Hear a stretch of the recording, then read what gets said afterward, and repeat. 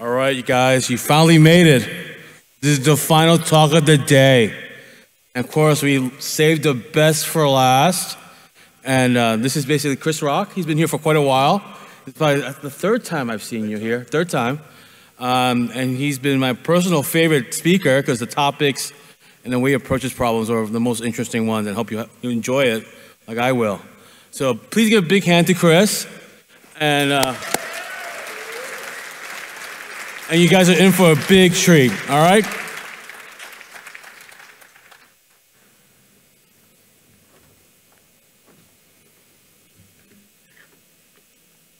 Thanks for coming to my talk, everybody. Killer Hertz. You hear me all right? Yep, awesome.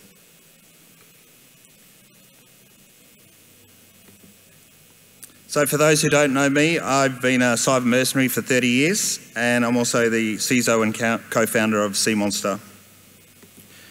I was at DEF CON 23, where I presented I Will Kill You. This was a talk on um, vulnerabilities in the death industry. And I was also at DEF CON 24 on how to throw, overthrow a government with Simon Mann. So, the reason I'm doing this talk is as a kid, I grew up with terrorists on the news all the time. We had the IRA, Hezbollah, and in later years we had uh, Al Qaeda, ISIS, Jemaah Islamiyah. But it seems to have gone quiet. So, where are all the good terrorists gone?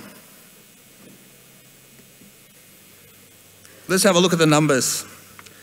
Death from terrorism down 39% in MENA, Middle East, North Africa, in the last three years. And terrorist attacks in the West down 68% since 2018. So something's going on. The National Intelligence Report had terrorism as just a footnote. So we're going to have to give these guys a bit of a helping hand. And we're going to have to give them a bit of a hand because if it's not considered a risk, we're not going to get a budget to do what we need to do. Just to give you some reference, in 2016 they were number one as the world risk. So they've had a bit of a bit of a downfall. So we need to give them a bit of a hand. In the good old days, you could just walk into a house of worship and pull the trigger. And if the, your guy didn't have the balls to pull the trigger, you could do it yourself remotely. But you can't do that anymore because of jammers. Jammers are being installed in churches, synagogues, and mosques, not so much for the terrorist aspect, but to keep uh, uh, the audience from using their mobile phones.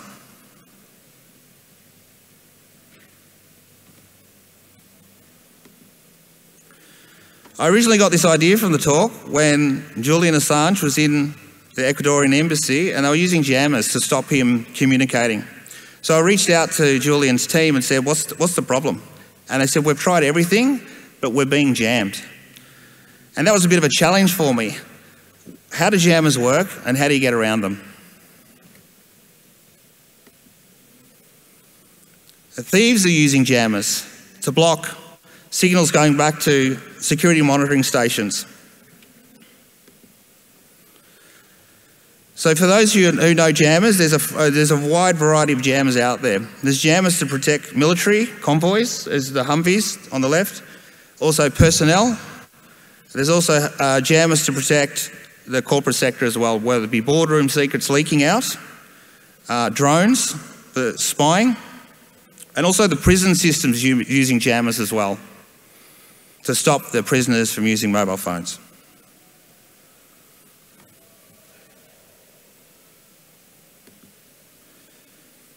So here we have an example of a Humvee jammer and um, being protected by uh, using jamming signals to stop the uh, ID from blowing up the, uh, the Humvee, and also the Thales Eclipse uh, being protected by a, a wave uh, to stop that jammer being targeted, to be, being going off. So I'll give you just a basic overview of jammers. Uh, it's a complex topic, but I'll just give you the basics. So we have what's called a spot frequency, where if you know the frequency of the target, like a mobile phone, you can just blast out a signal to that mobile phone frequency to block it. That's called spot. We have sweep, where uh, you're sending out signals across a wide range of targets, whether it be garage door openers, baby monitors, digital phones, stuff like that. Or we have something called barrage, where we send power across all signals all at once. Jammers are actually pretty smart and they've evolved over the last 10 years where they actually have uh, active intelligence, where they'll actually look for a signal, record the signal, and then play back the signal. So if there's something that the jammer's never seen before, it can be used to record and play back uh, for even pre-detonation.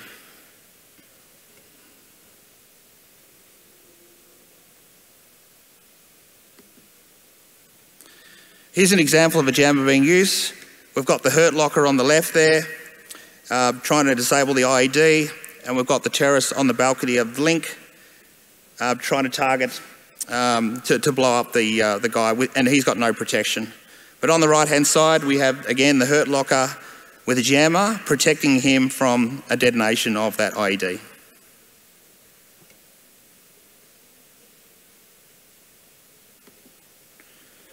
Some of the big manufacturers of uh, jammers, um, you guys all know these names.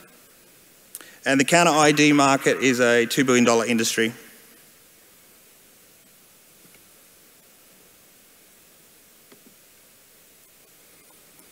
Here's an example of a personnel jammer that the military will use. And you'll notice the different antennas there, high, medium and low. We'll get into that in more detail. And you can see the specs beside it. Jammers need a lot of power, um, so you'll actually see like things like runtime and stuff like that.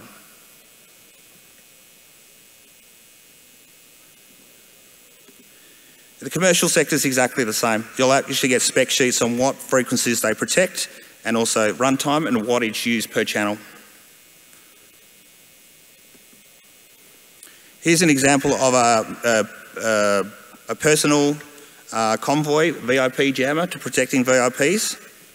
And you can see the specs within there. I'll just expand on that a little bit there. You can see the channel one has a frequency between 20 and 60 megahertz. Um, that gives you a, a 40 megahertz. Now, if each receiver on an ID can be configured down to 10 kilohertz, that's 4,000 channels that this jammer must protect against just within that channel one frequency. So we're talking about 5 watts per channel. You're looking at four, uh, 20 kilowatts of power just for that channel one. So that's why jammers will use different uh, techniques, whether it be spot, sweep, or barrage to, for protection.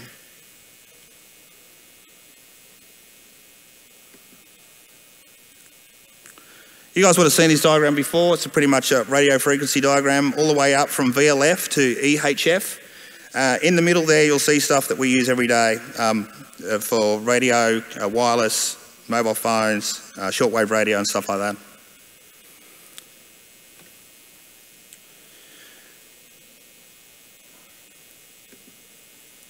And you'll see the jammer essentially blocks out that frequency. You notice I haven't covered the lower frequencies. I'll get into those a little bit later on. So jammers effectively block anywhere between 20 megahertz and 65 mega, uh, 6500 megahertz.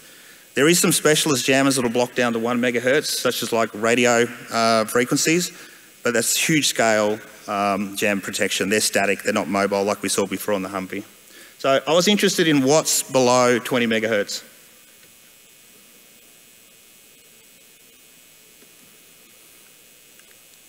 Here's an example of an ID, how an ID is put together. Obviously, we're not going to go into the, uh, all the details of an ID, or we're going to focus on the switch component, but just so you know what we're looking at here.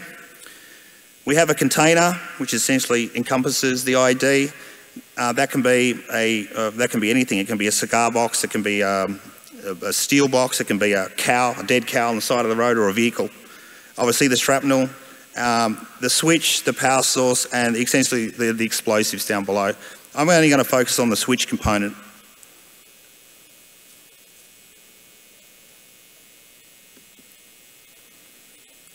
And you can see there, there's some, uh, some military ordnance there. It makes a good IED because essentially has some of those, um, some of those parts already, whether it be the container, the shrapnel, and the main charge. So all we need to do is add uh, power and um, a switch.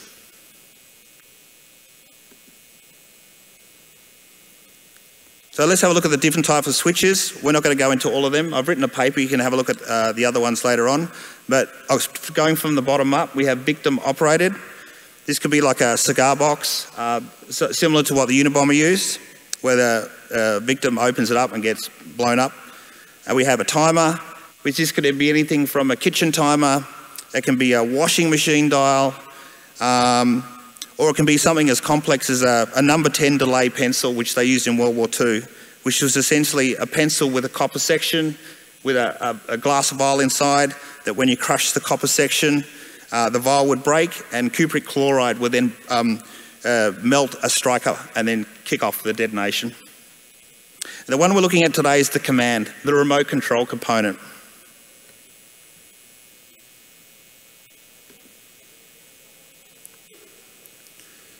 So looking at the command, obviously we have things like tripwires and stuff like that. No, we're not looking at that today. We're looking at the radio control section. So in the red box there, you'll see things like cordless phone, mobile phone, garage door openers, baby monitors, and things like that. Something that can be triggered remotely. Now, the beauty of these technologies is when you're using things like mobile phone or cordless phones, digital phones, is they've been designed to put up with interference. So if they're being jammed, they'll actually switch frequencies. So jammers need to look at that and then move frequencies to support that.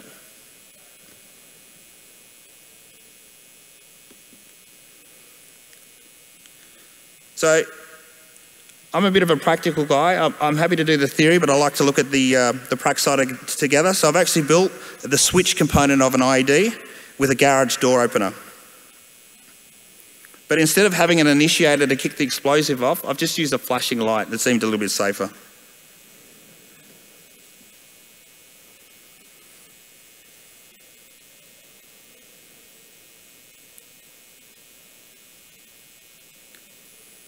So you can see there's no container there. There's the power source, the 12 volt battery, the initiator, which is actually the light in this case, and the remote control garage door, which is the switch component.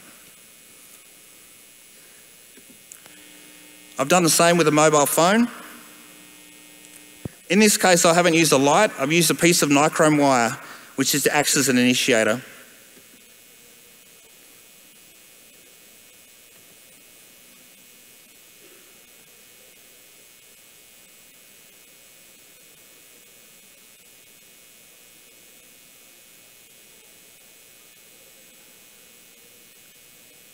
If you can see that clearly, but it just, it just lit up.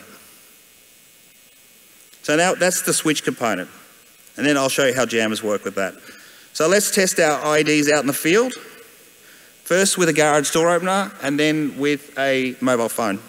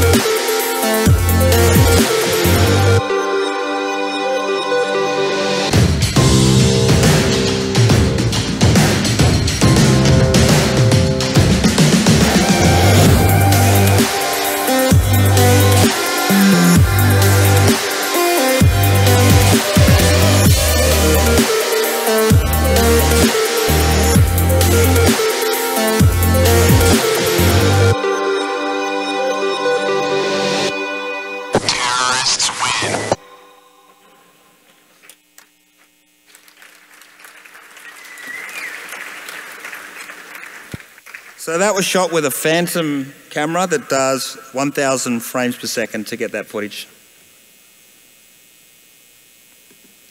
So let's look at the countermeasures. Let's look at the jammer. How does the jammer operate against uh, these IEDs? Again, here's our garage door, and let's have a look at what a jammer does.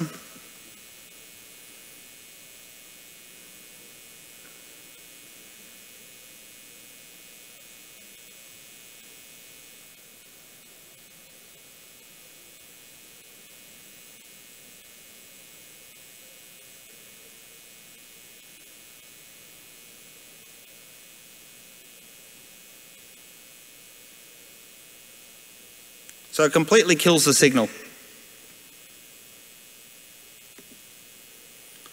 Again, let's have a look at the same example with a mobile phone.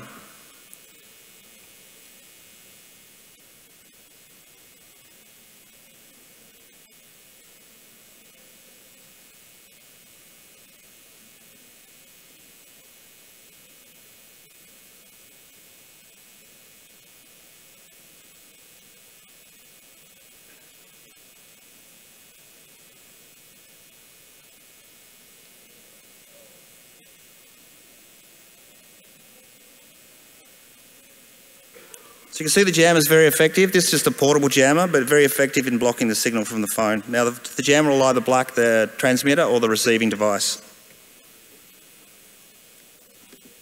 Next, we'll have a look at the jammer in the field. In this case, I've used a more of a powerful jammer just because the ranges that we had to do. So this is, a, a, based on a Pelican, uh, Pelican suitcase jammer.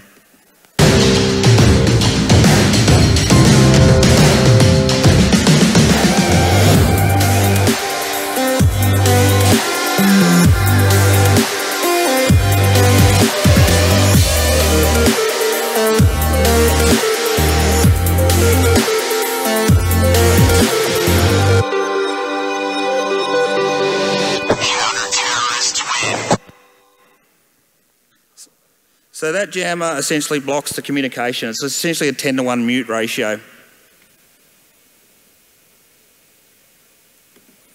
So now that we know how jammers work, where are the holes in the technology?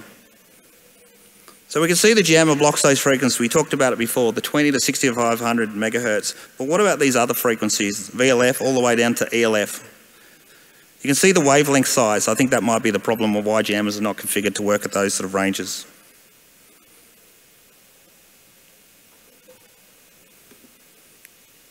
Taking a, a closer look at these um, the frequencies or, or, wavelengths, you can see that they're used by the military, VLF, ULF and ELF. And you can actually see that the free, it's actually used from a military point of view for, for things like navigation as also a way of communicating to submarines underwater. So these wavelengths actually travel around the world.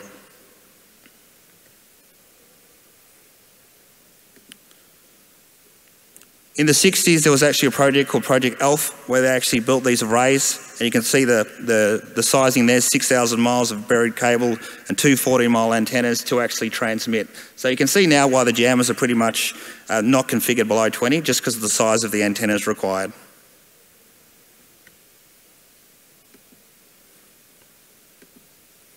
Just to give you a visualization of how VLF works, here's a cross section of the Earth, 400 kilometres. On the top, Z, that's our ionosphere, that's 40 kilometres above the Earth's surface. On the y-axis, the lowest point is the Earth's surface. And you can see the VLF wavelength actually propagating or going around the Earth's surface. So it's great for communication, communication around the world.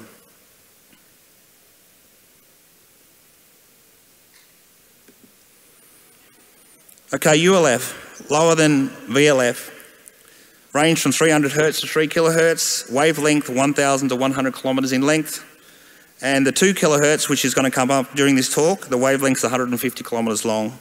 And you can see by the antenna size at a half wavelength, we're looking at a 75 kilometer antenna. Now, having an ID with a 75 kilometer antenna up is pretty, uh, pretty obvious. The signal travels through earth and through water.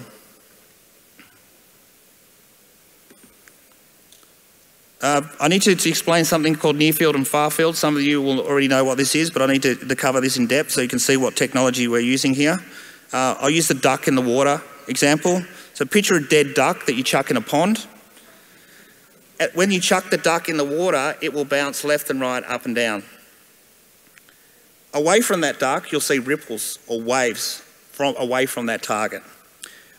That where the duck's moving left and right, up and down, we call that near field. Where it has those nice waves, consistent waves, we call that far field. When we're talking about far field, we're talking about all the wireless crap that you guys on a daily basis, mobile phone, garage door opener, baby monitors, everything. That's radio comms. But it's the near field part that I need to communicate to you guys on, on what this tech that I'm using.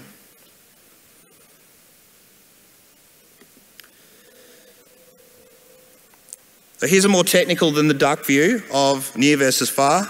In this case, instead of the duck, we have the antenna. We have the, the wavelength reactive. I'll get into that a little bit later. Moves into Fresnel pattern, then far field.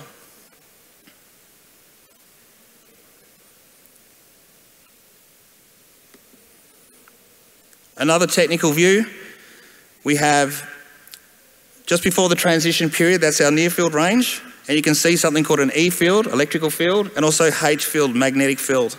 Essentially, the, the antenna is getting its shit together. It's 90 degrees out from phase as it moves into far field, which is essentially two wavelengths from the antenna. The reason I wanted to show you this is the H field is something that we're looking into, the magnetic field. We're not interested in the E field, it's the magnetic field we're after, before it reaches far field.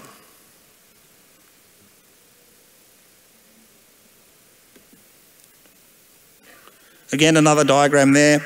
The, the point that I wanted to show you this diagram for is just where you, you can see we're two wavelengths out for far field and um, one, to, one to two, two wavelengths for uh, near field.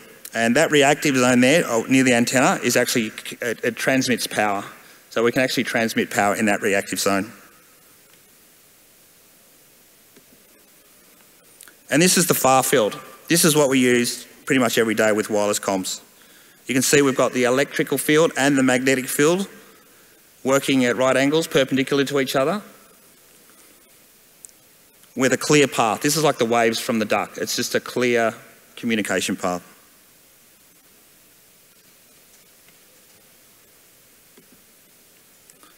And we use near field every day. You guys use it for uh, payment processing or proximity cards running at 13.56 megahertz or 100, the older 125 kilohertz. You'll notice the antenna is a coil. And that coil is used to pick up that H field that we were talking about before in the near field range, not the E field.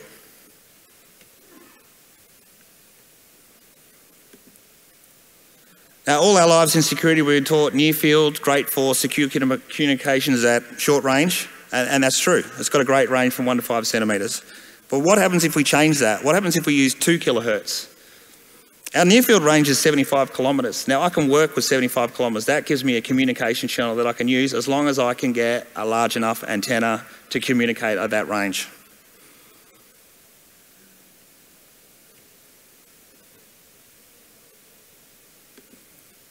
So how do we create a wavelength without the massive antenna? something called Earth mode. We're essentially using the Earth as an antenna. So NATO defines Earth mode as three separate ways. I've got to make sure that you guys know which one's which. The first one is up and over. A large antenna is inserted into the ground and the VLF, that large wavelength or ULF, will move up, across and then down. That's not what we're using today. We have our deep strata mining comms, the one that actually goes through the earth. This is used in the mining industry. Up to eight kilometre loops on the surface of the earth and uses a magnetic field to communicate down to miners. Um, you guys may not or may not be aware that um, you can't use radios underground, so there's ways of getting around that using magnetic fields. Uh, it can also be used for blasting as well. So if you've got um, a blast caps underground, you can actually send a signal which is safer from above the ground to blow it up. You can also communicate to, mi to miners on one-way communication or used for asset tracking as well for objects that are under the ground.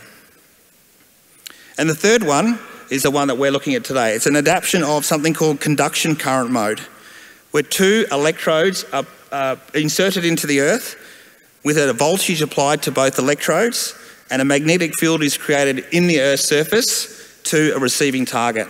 Now that can be either picked up by an E field, another two probes at the other end. I'm not interested in that. That was used by Morse and in World War One to communicate between bunkers. Or the one that we're using today is a magnetic field loop antenna.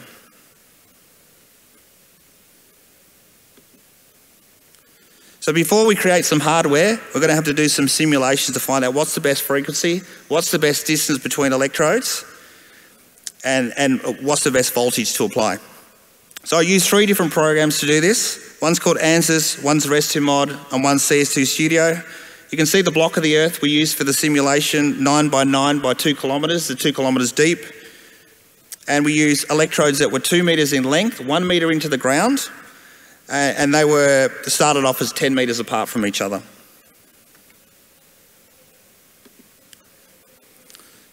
This will give you an idea of what the signal actually looks like. So from the simulation, you can actually now visualize to see that the signal not just travels along the surface of the Earth, it travels in the Earth itself. Again, radio frequencies don't travel underground, but at this low spectrum, it does.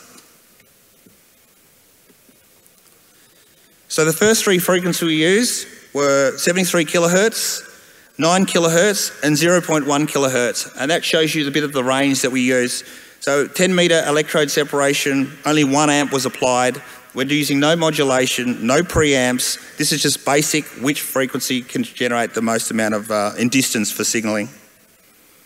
And the 0.1, as you can see, was at close to a kilometre in length.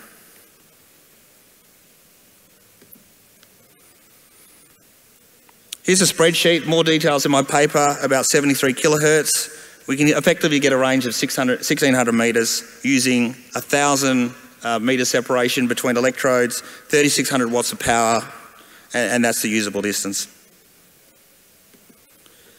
At 9 kilohertz, you can see we can get further distance.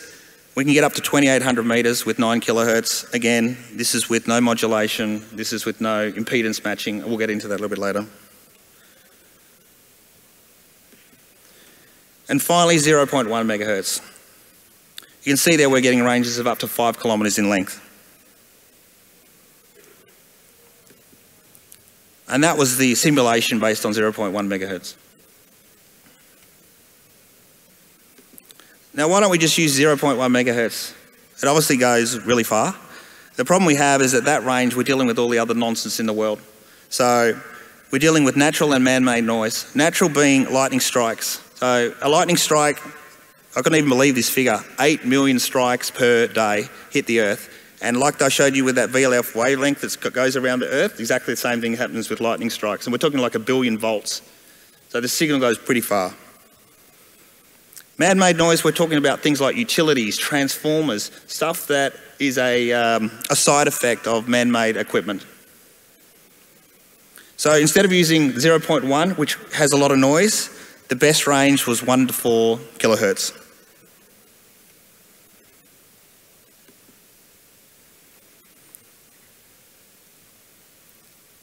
In this slide, you can have a look at what it looks like between low power versus high power. Obviously, the more power you submit, the longer the signal.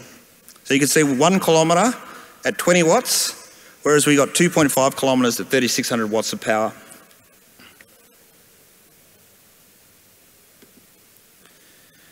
Also, TX uh, electrode separation. We've got one at 10 metres and one at 100. So we're starting to see a pattern here.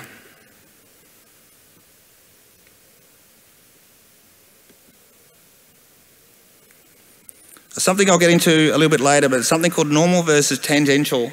Normal means an antenna is lying flat on the ground. That is that loop antenna lying flat on the ground. Tangential is when that area, that antenna, that loop is actually vertical, 90 degrees from the Earth's surface.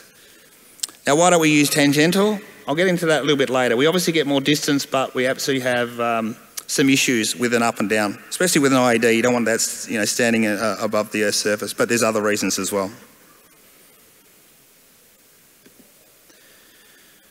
We did some E-field tests as well. You, you, you, may remember from the picture I showed you before, and actually there's a tiny little picture there where we've got the E-field up the top in, in near field and also the H-field. This was done, this is done previously through history, as I said, Morse and uh, during World War One. The range was not as good.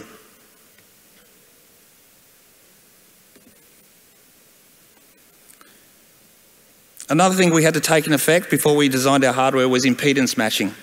Impedance matching means matching the soil to what you're using the device in. By matching the impedance on the receiver and the transmitter, we actually got further gain uh, from the hardware device and also within the simulation. So we can see we got 1.5 kilometres in dry soil with matched impedance, but we only got 0.7 with non-matched. So was, we, in the hardware, we needed to actually put in some impedance matching. Another thing to take into account because we're using um, frequencies which have a lot of noise is modulation techniques. The best one to use through the earth is something called ANC, adaptive noise cancellation, MLD, maximum likelihood detection, and DAFB, decision aided feedback. We could double our distance by using the right modulation techniques. in the paper that I've written, which is on the DEF CON media server, I've actually got schematics for different modulations so you can try them out.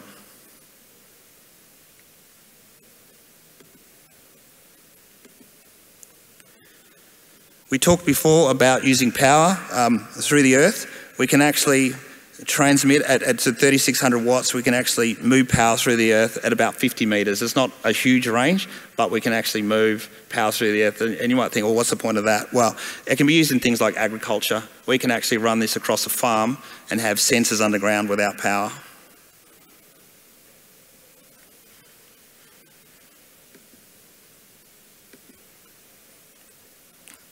I talked before about normal versus tangential, uh, tangential antenna placement whereas tangential had better range than normal. The beauty of normal is if you're lying it flat on the ground, it's immune from jammers. With tangential, in an unlikely scenario that someone's running a jammer that's, um, we're talking thousands of kilometres away in far field against the one to four kilohertz range, what we need to do is use two antennas at, uh, at right angles to each other, and sometimes we would need a whip antenna to confuse the jammer.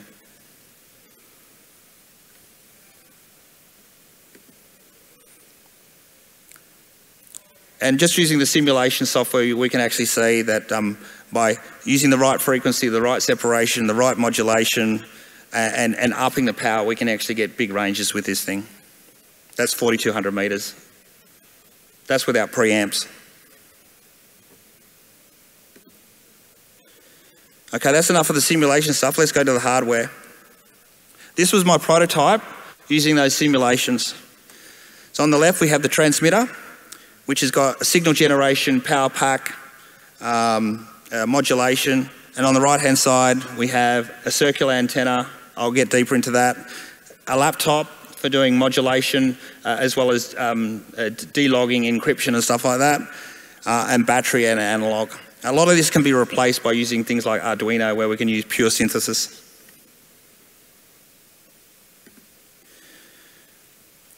So here's our transmitter with a commercial version where we've replaced a lot of those parts with uh, smaller parts, obviously. I, I, when I design hardware, it's always best to build big, make it easier on yourself, and then shrink it down when you know it actually bloody works.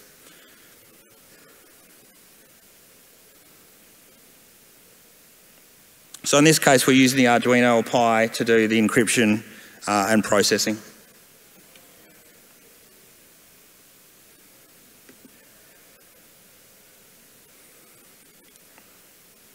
And here's the RX component. We, we shrunk that down quite considerably, again using a Arduino. Um, you can see on the, on the ground there that circle. I'll, I'll give you a close-up on that in a sec um, and uh, an LCD display so you can actually communicate not only on an IED but you can actually communicate messages between transmitter and receiver at those distances.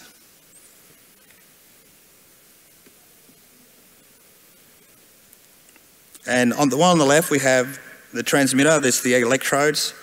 In the real world, in an IED setting, you're not going to use electrodes, you're going to use things that already exist, stop signs, fence fence, uh, picket fences, and stuff like that. And uh, on the right we have our antenna, which I'll expand that out. So that's a one metre diameter antenna with copper wire that's rounded. That is our loop antenna at large scale.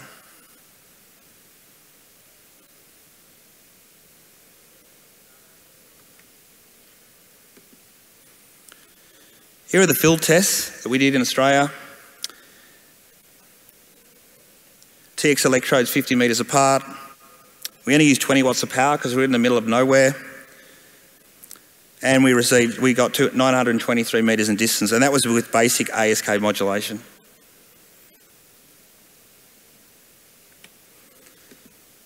Something interesting that did pop up was this result here. And when on closer analysis, you'll see that red line that's going across from uh, east to west. That was actually some fencing wire underground so you'll notice the signal, being a H field magnetic field, actually transmitted along the wire. And the beauty of that is you can actually get longer distances by using something called utilities assisted mode. And there's actually some literature on the internet where you can actually look where hobbyists are using underground pipes in the UK to get longer signals with even basic, basic equipment that I'm putting forward here. So in other words, if you're using it in an urban setting, you'll get further distances.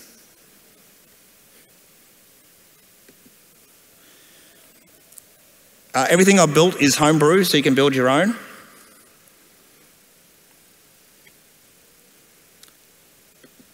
Including the schematics, and again, they're all on the media server. So in summary, this is what we've built. We've got a commercial transmitter with two electrodes in the ground at varying distance. We've got a large-scale uh, jammer, and we've got our loop antenna under the ground. So let's have a look at it in effect.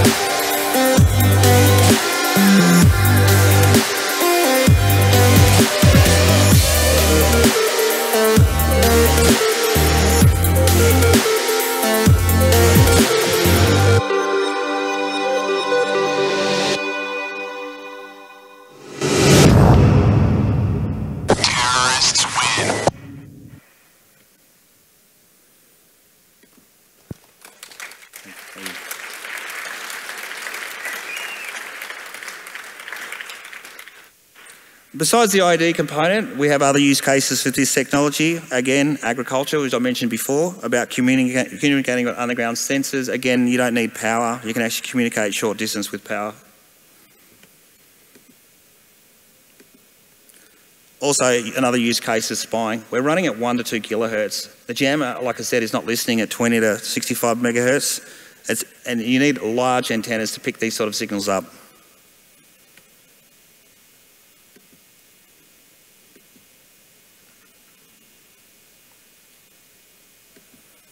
Also in a war setting as well.